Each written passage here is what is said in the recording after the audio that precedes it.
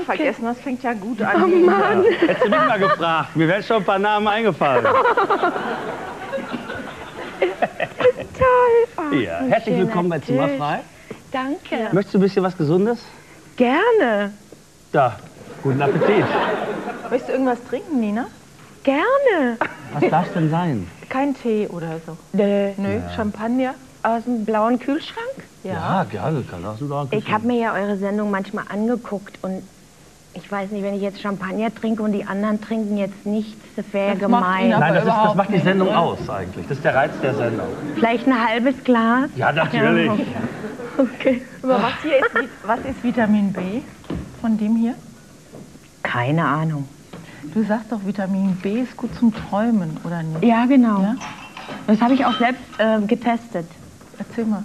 Da kannst du dich unheimlich gut an den Traum erinnern, wenn du richtig schön Vitamin B Aber einpfefferst. was muss ich da vorher, also was ist ein Vitamin B? Kartoffeln oder? Nee, das ist Keine Ahnung, actually. Äh, weiß ich nicht. Äh, Das steht ja da drauf. Also viel Was? Fleisch vor allem. Komm, wir essen ein bisschen Vitamin B vielleicht. Naja, das musst du ja zusammen essen mit, dem- mit dem Essen. Wenn es Ah, ja. alleine jetzt ist, nachher kriegen wir Bauchschmerzen. Das wollen wir ja nicht. Nee, das wollen wir nicht. Aber äh, die natürlichen Vitamine sind eigentlich besser, weil die, die paar Jahre, die ich in Amerika gelebt habe, da war ich bei so einem ganzheitlichen Doktor, der mich äh, zum Heilfasten animiert und inspiriert hat.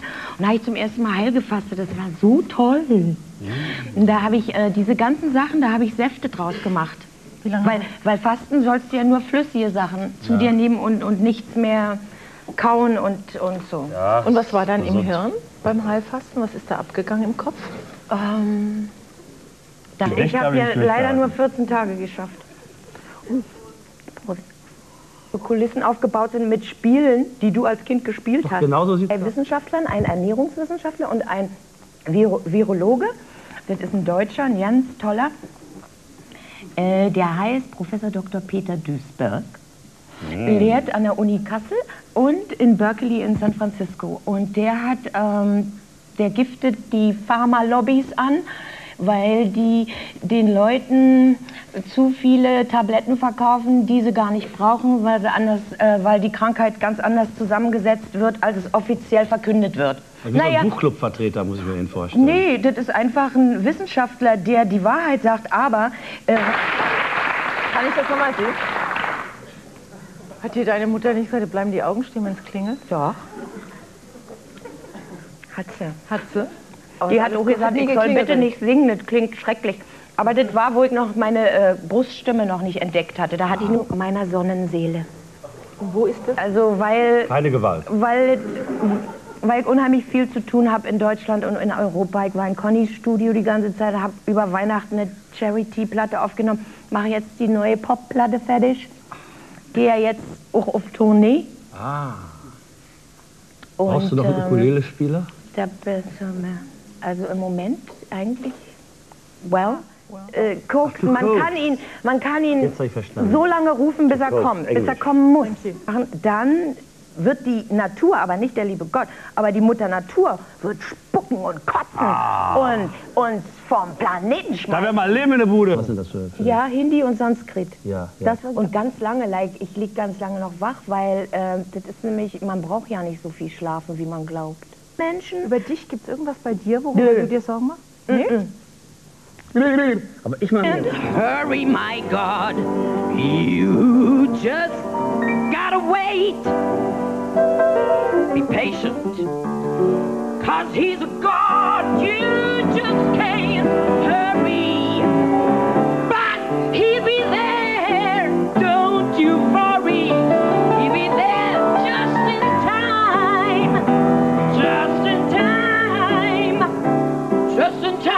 You can't hurry, my God. No, you can't. But my brother Joe, he's sick so long. Sorry for spitting at you. And his bones were crashing all over the place. I think they call it cancer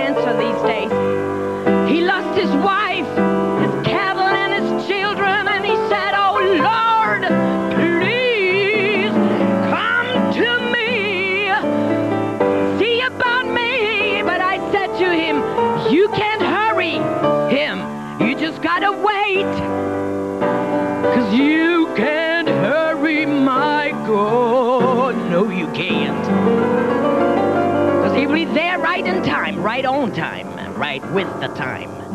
He'll be there right on time. Und vor allen anderen? Also bevor die anderen was Wissen werden? die anderen, die Ki dein Mein Sohn, Kind, mhm. mein wie Sohn, der, wie alt ist Otto? Der ist acht, mhm. wird am 3. August neun. Und Maddie, unser Kindermädchen, basically unsere Freundin, Klar. offiziell Kindermädchen. Und ähm, ja, und dann wach, wecke ich die dann irgendwann auf, wenn die dann auch wach werden sollen. Und vorher mache ich meine geheimen Sachen, meine alchemistischen äh, Gebete. Und auf dem Harmonium Meng, mengst, spiele ich. du auch so, mengst du auch so Wässerchen ineinander, so grüne und rosa Flüssigkeiten und so? Nee, aber ich mache schon manchmal mit Wasser und Weihrauch Ah. und Blumen. Jesus Christus steht auch bei mir auf dem Altar, Wer selbstverständlich. steht da noch? Da steht der Buddha, der Ganesha und die göttliche Mutter und der Babaji. Also Muniraji, das klingt wie so eine russische Lama. Märchenfigur.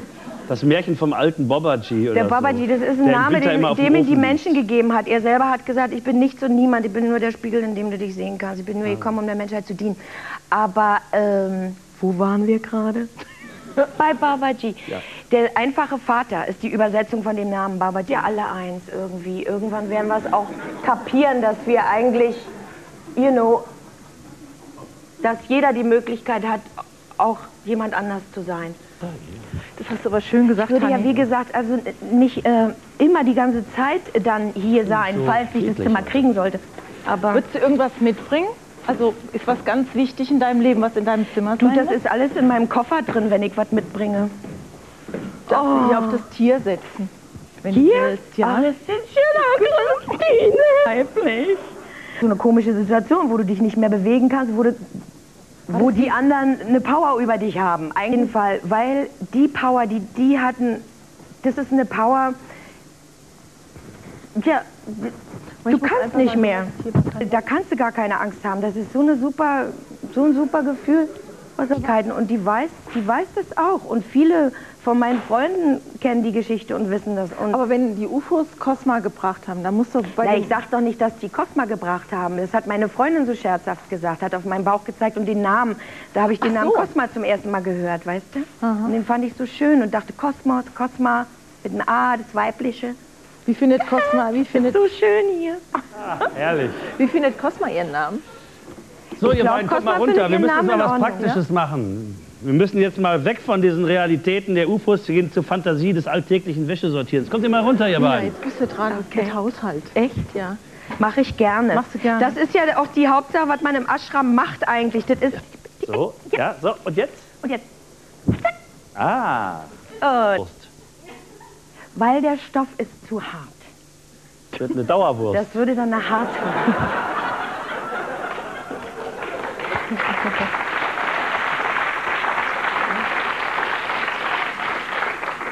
Nochmal? Wollen wir jetzt rollen?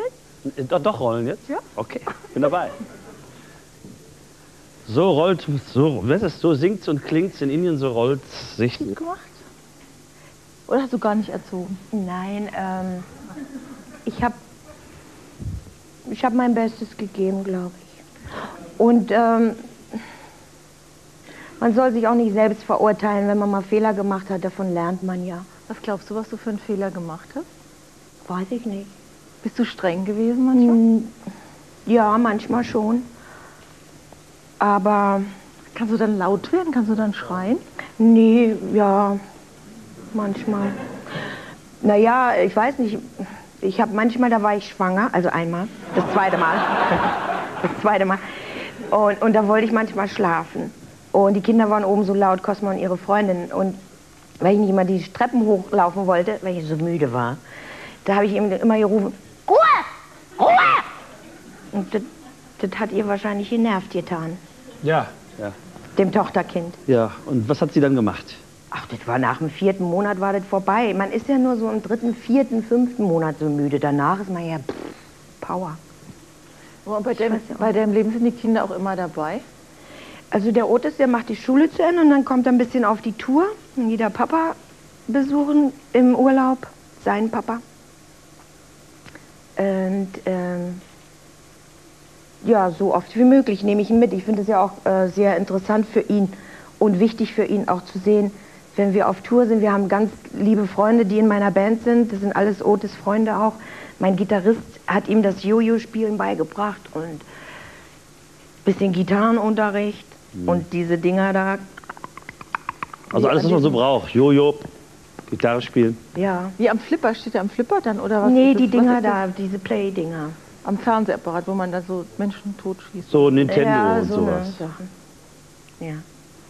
Hast du nicht Angst, dass da ganz Bad Vibrations über irgendein mieses Karma rüberkommen, wenn er sich so äh, unter Umständen böse Computerspielen ich, widmet? meine Kinder, die gehen in ganz normale Schulen und die leben ein ganz normales Leben und es ist nicht so, dass ich irgendwie ein fa- fanatischer, religiöser Mensch bin.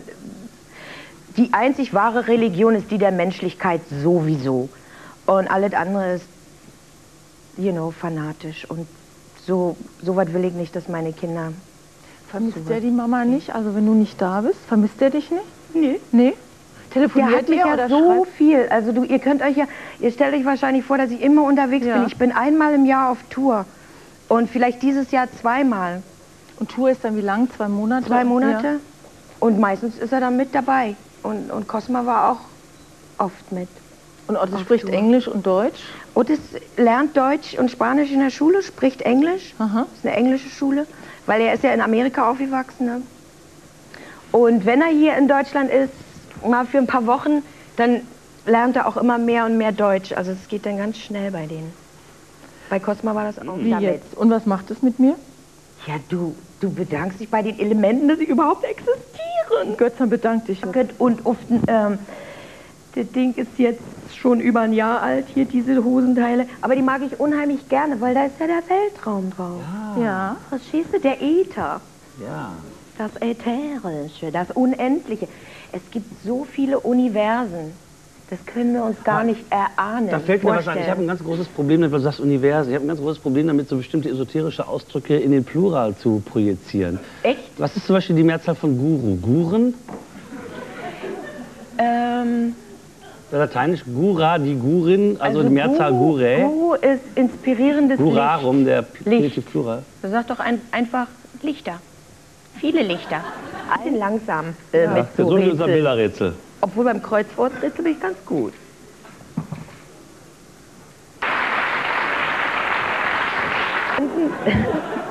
Wir könnten verwandt sein. Ungeschminkt. Ja. Alt ich oder bin in- total alt. Guck dir mal unsere Gesellschaft an. Eine Frau, die 44 ist, die wird hier als total alt abgestempelt. Und im Fernsehen, wenn sie einen jungen Mann hat, ich bin ja Asket seit einem Jahr. Äh, wenn, dann ist sie auch noch you know, ein Schwein. Nee, In so einer Welt leben wir. dazu dürfen wir nicht schweigen. O- offen! Schön, dass Sie da sind. Ah, eure Nachbarin. Ich habe sie schon im Fernsehen gesehen. Was? Ich Ja. glaube, wer bringt mich denn ins Fernsehen? Das Die wissen ja nicht, dass das aufgenommen wird. Nein. Ja, machen Sie das mal bitte. Der ist nicht im Moment... Genauso wie hier. Nee, warte mal, nee, nee, was sage ich gleich beim Walter, wenn ich hochkomme? Weißt du, jetzt mal ein Stift? Haben die alles doch schon auf. Denn ich möchte, ich schreibe die Walter, Nummer dem auch äh, meine Telefon zusammen was. Marschen Kuchen für uns. Das ist ja süß, gerne. Ja? Ja. Tschüss, Frau. Der Wind, der Wind hat mir ein Lied, Lied erzählt von einem Glück unsagbar schön. Was meinem Herzen. Okay. Ähm, Man nennt mich Miss Fame, die berühmte, bekannte Yes, Sir. Die nicht sehr beliebte bei Onkel und Tante. No, Sir. ah. Man fürchtet, ich könnte die behüteten Neffen im Spielsalon oder im Himmelbett treffen. Ich könnte sie verführen mit tausenden Listen zu etwas, das sie vielleicht doch noch nicht wüssten. Yes, Sir. La la la la la la. Yes, Sir. La la la la la. So bin ich und so bleibe ich, so bin am ganzen Leibe ich. Yes, Sir. Perfekt. Und muss ich mein irdisches Gastspiel beenden? Yes, Sir. Soll ihr euch nicht gleichgültig von mir wenden? No, Sir. Denn ich habe geliebt und ich habe geküsst, weil die Liebe doch dazu erfunden ist. Wir alle auch hier tun seit tausenden Jahren nur darf man um Gottes Willen nichts erfahren. No, Sir. No, Sir. Yes, Sir. Yes, Sir. Ja, was jetzt? Also so bin ich und so bleibe ich, so bin am ganzen Leibe ich. Yes, Sir. Ansonsten, wenn ich Klavier spiele, ich kann immer nur vermuten. Ähm, den Esel und das Gnu. Und nach ändern kannst du dich nicht. Von Erdbeben. Will denn hier keiner überleben? Sie werden... Ich bin total... Ich mag gerne die Brix. B-R-I-X-X. Ich glaube, die ist aus Köln. Ach, die? Ja, ach, die. Und Rallye. Rallye, so eine glückliche Sommermusik. Romantisch. Dann höre ich unheimlich gerne mit meinem Sohn, Ja, den Bruder von Nene Cherry, den, den anderen Cherry. Wie heißt er denn gleich nochmal? Cherry, auch eine Das ist nicht schöne, meine Baustelle. Nee. schöne Ich kenne keine Lieder. Sänger, die noch leben. Nee? Du arbeitest zu viel. Hörst du auch, hörst du auch klassische Musik manchmal? Äh, ja, ich habe neulich die Werbung gesehen mit 4711. Hey, hey. Ja. Nee, doch, ich äh, mache ja auch selber Like Der Mond ist aufgegangen von Bruder Klaus. Ist ein ganz berühmtes Lied. Und das, ähm, so geistliche Lieder, das Ave Maria und sowas. Wenn es klassische geistlich ist, mag ich Wenn es klassische nur so bombastisch ist, oh, dann kann es mir gestohlen bleiben. Weinst du Weihnachten? Wenn so Weihnachten Ja, aber nur Weihnachten, da, oh,